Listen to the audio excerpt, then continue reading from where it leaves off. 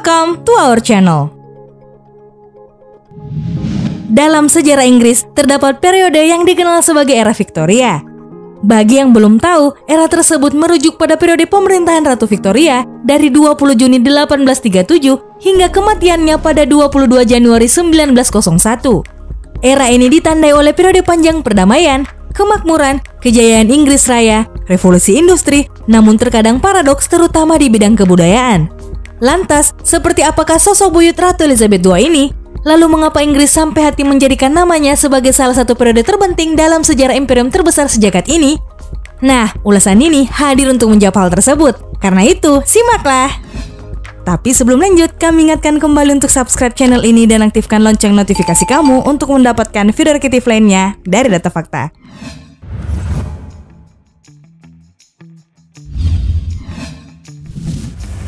Masa kecil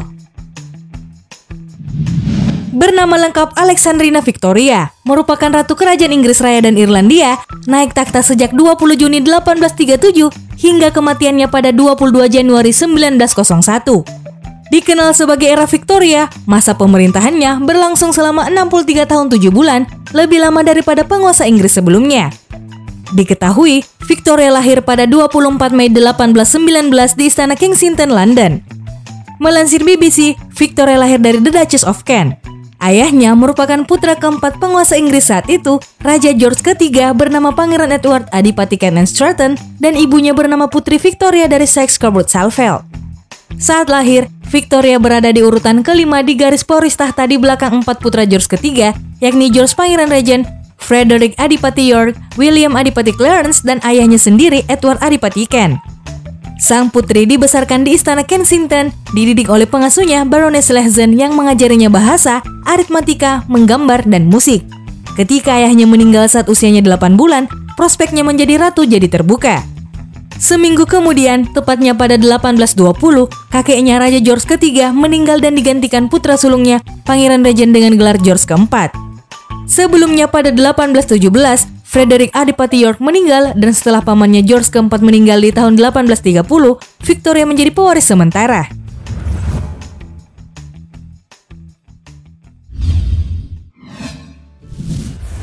Melamar suaminya sendiri Victoria muda menikah di usia 21 tahun, tepatnya pada tahun 1840.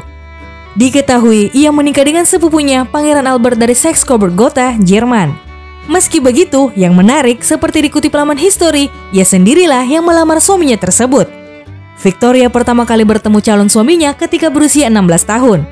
Albert sendiri merupakan sepupu pertamanya, putra saudara laki-laki ibunya.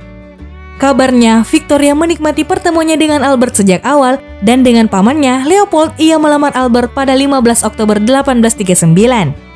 Hal tersebut dilakukan lantaran statusnya sebagai ratu membuat Pangeran Albert tidak dapat melamarnya. Pernikahan mereka tampak penuh gairah, Victoria bahkan menulis dalam diarinya, Without him, everything loses its interest, atau tanpa dia, segalanya tampak tidak begitu menarik. Pernikahan mereka menghasilkan sembilan anak. Meski begitu, Victoria terkenal kecewa dengan kehamilan dan persalinan dengan menyebut shadow side of marriage atau bayangan gelap dari pernikahan.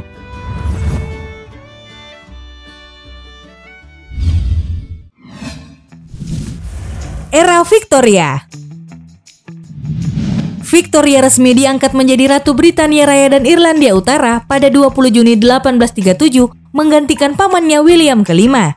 John Wolfe dalam buku Religion in Victorian Britain, Culture and Empire 1997 menulis, era ini ditandai oleh periode panjang perdamaian, kemakmuran, kejayaan Britania di kancah dunia, dan tingginya rasa percaya diri nasional warganya. Sejumlah ahli berpendapat kejayaan politik Britania pada era ini dimulai setelah disahkannya Reform Act 1832. Selain itu, ada dorongan agama yang kuat untuk standar moral yang lebih tinggi, dipimpin oleh gereja-gereja non-konformis seperti Metodis dan sayap evangelis dari gereja Inggris yang mapan. Secara ideologis, era Victoria menyaksikan perlawanan terhadap rasionalisme yang mendefinisikan periode Georgia atau era sebelumnya, serta peningkatan ke romantisme dan bahkan mistisisme berkaitan dengan agama, nilai-nilai sosial, dan seni. Selanjutnya dari aspek teknologi, era ini melihat sejumlah inovasi yang terbukti menjadi kunci kekuatan dan kemakmuran Inggris misalnya mesin untuk industri besar. Para dokter mulai menjauh dari tradisi dan mistisisme menuju pendekatan berbasis sains. Dalam hubungan internasional, era ini menandai periode damai dalam Pax Britannica, berefek pada kemakmuran ekonomi, sosial, industri dan kejayaan ekspansif oleh supremasi angkatan laut.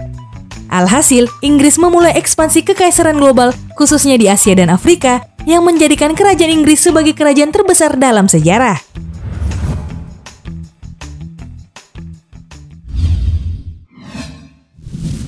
Nenek Raja-Raja Eropa Bersama suaminya, Ratu Victoria memiliki sembilan anak, masing-masing Maharni Victoria, Edward yang kelak menjadi suksesornya dengan gelar Raja Edward ke-7, Putri Alice, Pangeran Alfred, Putri Helena, Putri Louis, Pangeran Arthur, Pangeran Leopold, dan Putri Beatrice. Sebagian besar putra-putri dan cucu-cucunya menikah dengan anggota keluarga kerajaan lain di Eropa, menyebabkan banyak keturunan yang menduduki tahta kerajaan-kerajaan Eropa. Hal ini lalu membuatnya dijuluki sebagai neneknya raja-raja Eropa. Melalui sparknotes.com, anak-anaknya sendiri diketahui telah menikah dengan keluarga kerajaan Prusia, Denmark, Rusia, Schleswig-Holstein, Waldeck, dan Battenberg. Di antara cucu-cucunya adalah Kaisar Jerman Wilhelm II, Ratu Sophie dari Yunani, Maut Permasyuri Norwegia, calon Tsar Rusia Alexandra, Mary calon permaisuri Raja Ferdinand I dari Rumania, dan Ratu Victoria Eugene dari Spanyol. Dalam buku Her Little Majesty The Life of Queen Victoria 1997, dari 42 cucunya, 34 di antaranya bertahan hingga dewasa, bahkan keturunan mereka yang masih hidup saat ini termasuk Elizabeth II, Harald kelima dari Norwegia, Karl XVI Gustav dari Swedia, Margaret II dari Denmark, dan Felipe ke-6 dari Spanyol.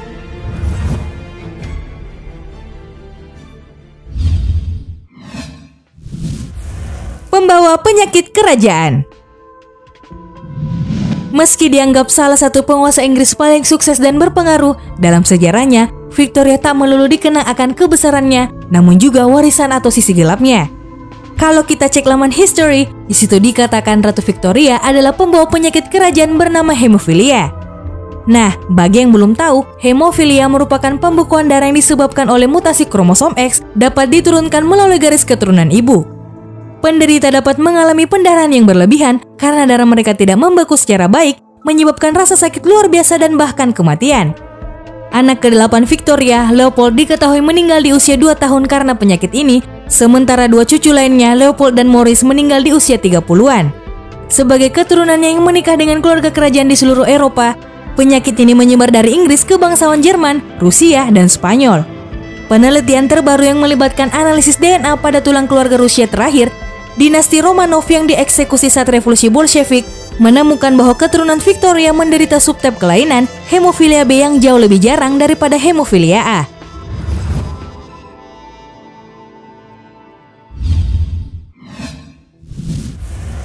Meninggal karena rematik, lumpuh, dan katarak.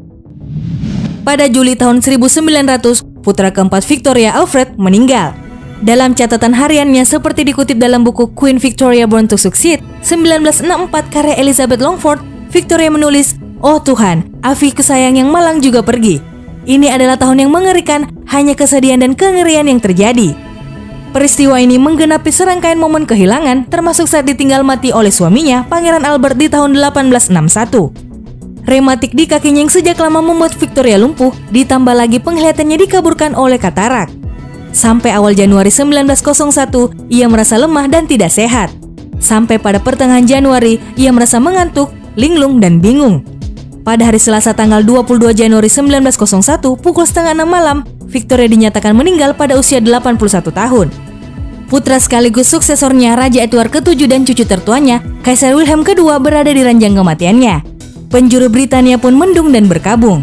Pemakamannya diadakan pada hari Sabtu tanggal 2 Februari 1901 di Kapel St. George Castle Windsor.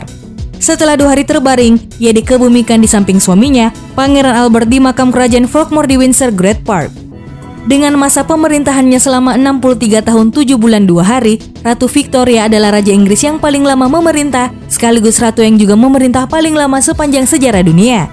Sampai cicitnya, Ratu Elizabeth II yang saat ini memimpin kerajaan Inggris melampauinya pada 9 September 2015. Itulah sejumlah fakta tentang Ratu Victoria, salah satu pemimpin paling berpengaruh dalam sejarah dunia. Bagaimana menurut kalian?